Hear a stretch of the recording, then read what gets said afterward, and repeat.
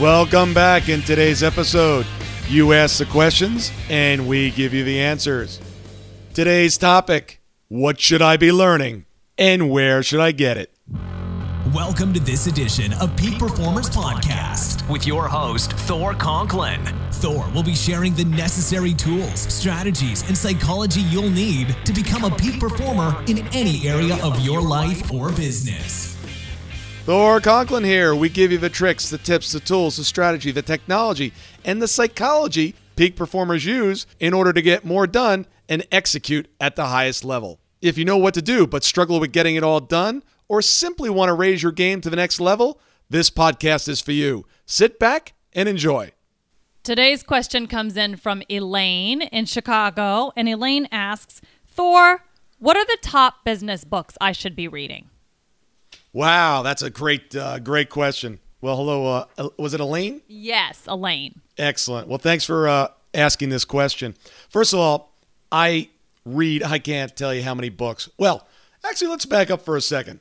I don't read that many books, but I do have someone read them to me. It's not me. No, it's not. Uh, it's not her. Although sometimes it is me. That's right. If you're not using Audible, you absolutely have to. Audible.com. Actually, we even have a free trial for you and a free download book. They're one of our sponsors. They are indeed one of our sponsors. Simply go to audibletrial.com forward slash peak performers.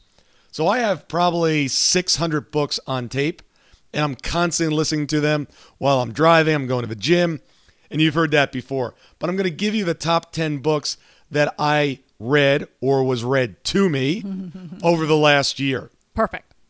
Now this one is a uh, oldie but a goodie, and this is Guerrilla Marketing by Jay Levinson. And what I love about guerrilla marketing is I think since it's, I think it was written like 20 years ago, I think we've forgotten about it and we get into this mindset of I've got to do everything online, and if it's not online, it doesn't exist, and it's not a good strategy. Bullshit. You've got to read this book again and take the concepts and start to apply them. There's all kinds of different ways to be marketing. And business comes down to what? Marketing. It's all about the marketing. Uh, another great book this year, The One Thing by Gary Keller, mm-hmm. the founder of uh, Keller Williams. Great, great book talking we, about the importance of focusing on one thing. We interviewed the head yes, the, the senior thing. VP of, uh, of the, the new uh, company that he's creating. The Compound Effect, Darren Hardy. Great, great book. Talks about doing little things over and over again and the compound effect that that produces. Obsessed by Grant Cardone. Grant's insane. He's obsessed. Check him out. Great, great book. I think I listened to that book literally about eight times. I remember you really liked it. I really did. I became obsessed about the book. And I actually put it on two times speed. That's the other thing about Audible, which is great. You can listen to these audiobooks at twice the speed. 15 Secrets Successful People Know About Time Management. And that is by, who's that by? I just interviewed him. Yeah. Um, Kevin? No. Kevin, Kevin Kruse? Kevin, Kevin Kruse? Kruse. Is that his book? Yes, it is. Okay. That's by Kevin Kruse. Great, great book. He interviewed a bunch of badass entrepreneurs and got all this information, combined them into a book. Mm-hmm. Easy read. And what I love about it, it's just like boom, boom, boom, boom. Yeah. Great information. That book's really an amalgamation of thought leadership. Yeah, it was awesome. You squared your favorite boyfriend. Oh, my Price Pritchett. Yes, Hi, Price Pritchett. If you haven't heard Thor's interview with Price Pritchett on this podcast, you must go listen to it. I am convinced that Price is one of the most thoughtful people. And I mean that word by its denotation, what thoughtful really means thinking. Uh, thoughtful people Thor's ever interviewed. Go check that interview out. Price Pritchett. Yeah, he's a master. He does uh, M&A work, mergers with big pharmaceutical companies the guy is brilliant. He he is close to a genius. I, I just like him. Well, I like his style that he cuts everything down really, really quick and doesn't add any filler to anything. Mm-hmm. It's all about time. Scaling Up by Verne Harnish. Great, great book. Crush It by Gary Vee. Gotta love Gary Vee. Any of Gary Vee's books. Check it out. Crush It. The Shredded Executive. Now you Damon. said, yeah, Damon Sewell. Now you're probably asking, well, how did Damon Sewell get in here as a business book? But if you're not taking care of your health, your fitness, I don't care. You cannot play the game of business at the highest level. Give it up. get your body, get your mind in shape, and the body part, Damon will take care of that. Damon's he will very shred in your you. face. He's very in your face. Be prepared for that. And if you listen to that episode, make sure the kids are not listening along with you. and the last one is a book that was recommended by someone I interviewed a few months ago. I had never heard of it. Napoleon Hill. It's not the one that you're thinking. Napoleon Hill wrote a book. His wife would not let him publish it. She died. He was dead. She died. It never got published. Then the heirs that took over the estate got the rights to it and then published it in like the 90s or, or hmm. maybe even 2000. It is called Napoleon Hill Outwitting the Devil. Napoleon Hill has a conversation with the devil. It's a fascinating book. It is really, really good. So those are the top 10 for, let's call it 2016. We're now into 2017.